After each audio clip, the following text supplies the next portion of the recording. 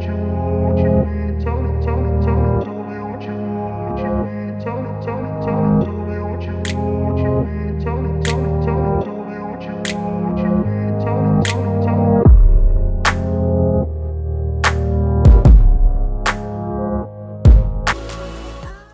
people, welcome to the channel. It's Kieran here and it's new shoes day. I've just laced into the brand new Under Armour HOVR Machina 3.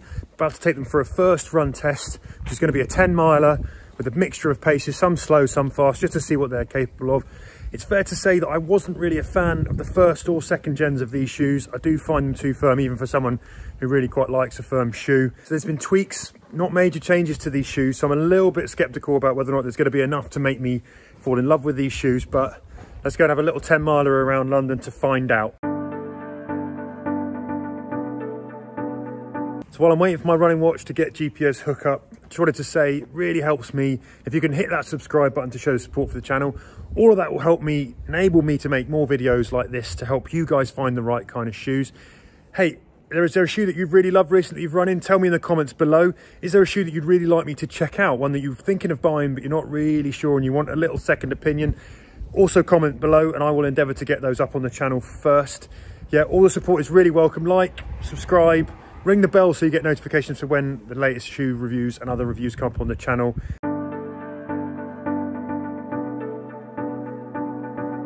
So let's give you a really quick whip round of this shoe and what Under Armour says that it's supposed to do. Well, like the HOVR 2, Under Armour says that this shoe is supposed to have the softness of a distance shoe and the springy speed of a racing flat. It also has that smart chip in it which offers you kind of real-time form coaching as well. So what's new about it then? Well, Under Armour is stuck with the same HOVR foam midsole, but in this iteration, it's made it softer in the heel for smooth landings, and it's a bit firmer in the toes for what Under Armour says are explosive liftoffs.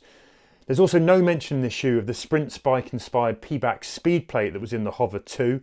That was in the second generation, but it may well be gone here. I'd be surprised if it is, they would flag it up. Just a quick word on that midsole where it's supposed to be softer in the heel and firmer in the foot. It's a weird one really because actually, if you get to see the compression here, I think actually it feels to me there's a little bit more compression in the forefoot than there is in this kind of this heel, oh, which I don't know, it's still pretty dense when you compare it to other shoes. So yeah, that softness, I don't know, you've got this kind of split where you can see where the foams are supposed to kind of divide and you're getting different in the forefoot, different densities, I guess, in the forefoot to the heel, but I don't feel it, it runs a whole lot different to the, to the Machina 2. In terms of the uppers, you've got an overlay free seamless mesh upper that's pretty dense. It's like a dual layer as well. It's a little bit sort of spongy on the inside with another layer on the outside. This is actually quite common now. We're seeing this come on a lot of shoes, particularly those ones that are designed for kind of long haul comfort.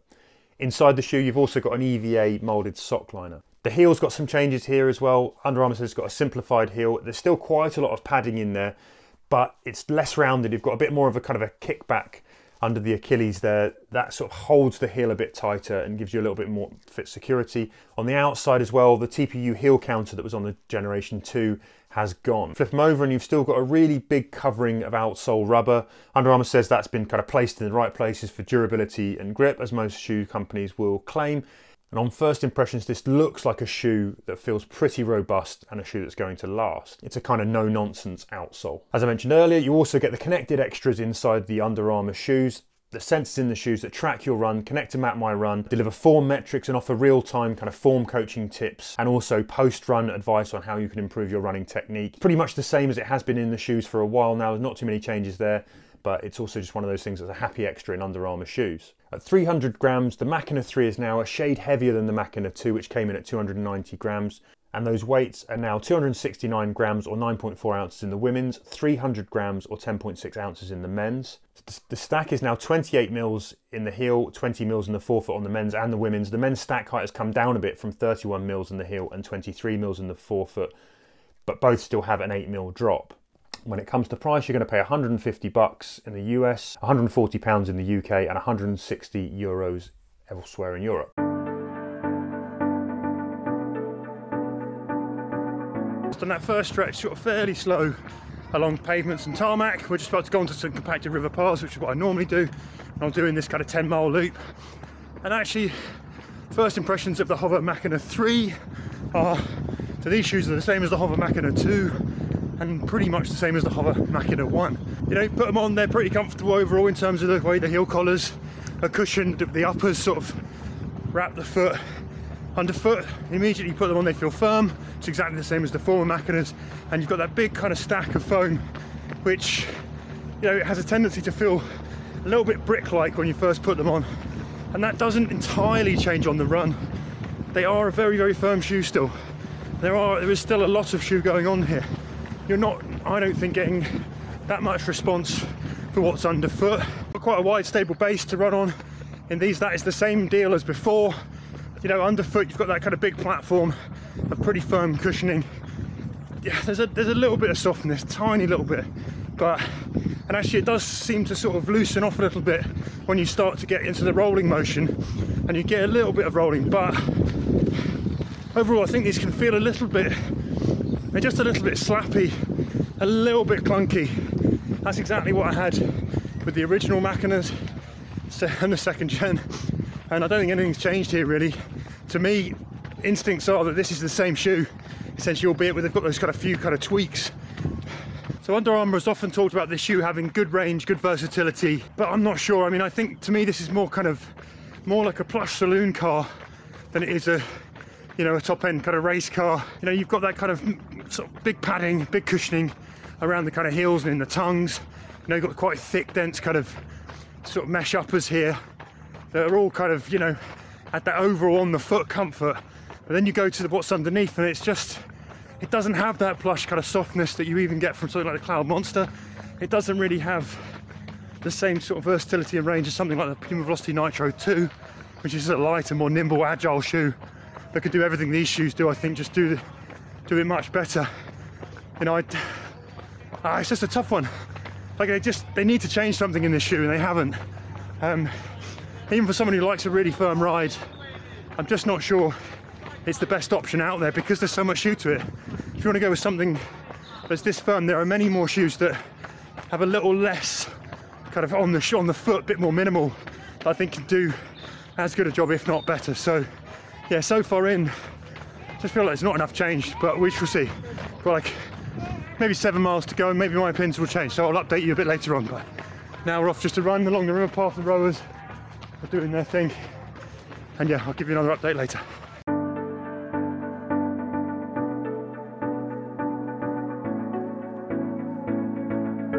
So I'm five miles in now, did three easy, and now I've just done two up the pace. First one was like just over sort of six minute miling-ish. Second one I've gone sort of 6.45s. I just wanted to see how they worked when I was pushing kind of my marathon pace and faster. So the interesting thing is that first mile, when I was landing well, sort of mid to forefoot, picking my feet quite quickly, cycling my legs fast, keeping my turnover quick. Actually, these shoes felt better than they do with what I'm doing now. They're less firm, they're less slappy, and you get some kind of sort of roll in them, some kind of response. But I think a lot of that is just to do with your own sort of cadence pickup rather than the shoe doing the work for you. Now, comparison I'm going to draw with this is a shoe I've run recently, and obviously Super Shoe. I'm not comparing this because I'm saying they're shoes that you would consider purchasing between. But just the sensation, you know, the Asics Metaspeed Sky Plus doing the fast 5k out in Malaga for the run testers, that was a whole different ball game. Found it very easy to hold sort of those six minute something paces in those shoes, even on very tired legs. Today, on fairly fresh legs, into that second mile, it was a real struggle with these, and I could start to feel the firmness again. And they just weren't giving you much, you know. It does feel like you're doing all the work, which, in some respects, those shoes I quite like doing that in, but if you're looking for something that's kind of punchy and racy and fast, yeah, this is not it still. I don't know, for me personally, you've got, I think you're gonna have to have a very distinct liking for a firm ride with high cadence to, to get the most out of these. I just don't see there's any of that kind of rebound and response that Under Armour talks about with this foam. I think it's a problem with the HOVR foam basically. It's just not up to scratch compared to what we've got now in other shoes. Billion other shoes I think were probably picked before these and 140 pounds as well. They're also not that cheap really. And we're gonna hop back to this a lot I think this year. But when you look at the Puma Velocity Nitro 2, for uh, like 100 quid, does everything I think these shoes could do and more. And you know, 40 quid less, better versatility. So I think, you know, Under Armour is still playing in a very difficult field here. It hasn't quite got its game right yet.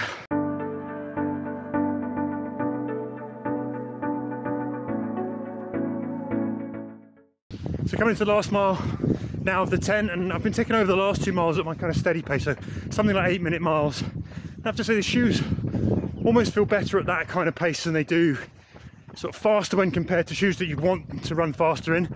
So we're thinking about the super shoes that you might go out and do faster efforts and faster training in. And I think certainly sort of slower, you might want something that's got a little bit more cushioning, a little bit more protection. They're just a bit too firm for that. So at this middling pace, they're sort of rolling along kind of okay. My feet have settled into them. And, you know, I don't hate the shoe. I'm not in love with it. It's kind of okay. I think there are better shoes out there for doing all of these things. But, you know, actually, you know, I've been, I've been quite harsh on it so far. But it's just because I'm a little bit frustrated with Under Armour bringing out kind of essentially the same shoe third time running without really changing enough to make me excited about this shoe. Uh, I was really hoping they might do something to make it a little bit more interesting, a little bit more exciting, a little less kind of clumpy. But I think what you're getting here is pretty much the same. Anyway, we'll go back and do a little verdict and a wrap after I finish this last mile. Um, yeah, just gonna go and get, get the run done.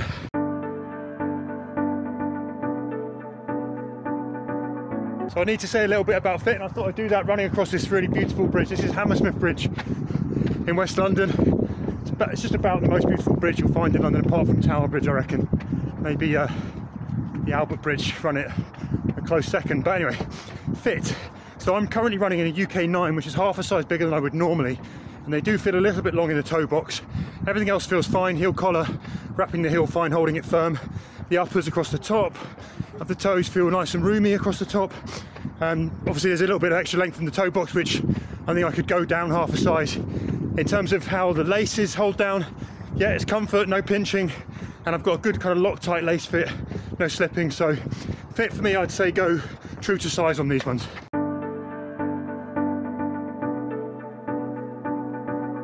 So my verdict for the HOVR Machina 3 then, after 10 miles and about 90 minutes in it yesterday, is that this is a shoe that just feels like the HOVR Machina 2, which is to say that it's a really, I think, quite kind of clunky, a bit sort of cumbersome shoe that sits somewhere weirdly in the middle. It's it's not soft enough and comfortable enough to be an easy day shoe. It's not light enough, nimble enough, and fast enough for me to want to run fast in it. And it sort of falls between these two gaps where you just feel a bit clumpy underfoot. It ran quite well at kind of a middling pace, so it sort of almost sits in that middling pace, and maybe at that kind of, I, I, guess, just a kind, you know, a steady clip. Maybe this is where this shoe really sits, but it certainly, I don't think, has the punch of a of a racing flat, as Under Armour says, and it doesn't really have the soft cushioning of a, like an easy day shoe either. It is definitely somewhere in between. I think it kind of it falls between the cracks because of that. Also, just when you look at that kind of pricing, it's kind of up there and we've just got so many shoes now that are coming in that at more competitive price. It's it's come into a marketplace where things have actually moved on quite a lot in terms of the versatility of those overall daily trainers. And yeah, I mean, if you ask me, would I buy this? The answer is probably not. I would go for the Puma Velocity Nitro 2 over this any day. I think it has more versatility. I think it's better at faster paces. It's better at slower paces too. And yeah, they just haven't done enough with it to make me really sort of be able to recommend it. They need to make some changes here, I think, Under Armour. Their shoes still run very firm. Do you know what? I actually think the new uh, Velociti Wind 2 is a, is a much better shoe as well, much better all rounder. That is one that I can recommend, and I would buy that over and above this as well. So, yeah, early verdict on the Machina 3 is pretty much that it's the same shoe as the Machina 2, and it's a very hard one to recommend. Yeah, I don't really rate it, I'm afraid. So there you have it. That has been my first run verdict on the Under Armour HOVR Machina 3. I hope that's been useful. Have you run in the Machinas before? Tell me how you got on with them. Did you like them? Am I, I got this wrong? And these are shoes that you could really get on with. Do you, how would you really find that kind of smart, connected chip thing a, a, kind of a selling point for these shoes? I'd love to hear from you. Uh, what other shoes are you running in at the moment? What are your favourite sort of versatile daily trainers? Hit me up in the comments below and let me know. Also, don't forget to like and subscribe to the channel. Really helps me with that kind of support. It's been a pleasure to talk to you and I hope to see you again soon on the channel. Yeah, thanks for watching.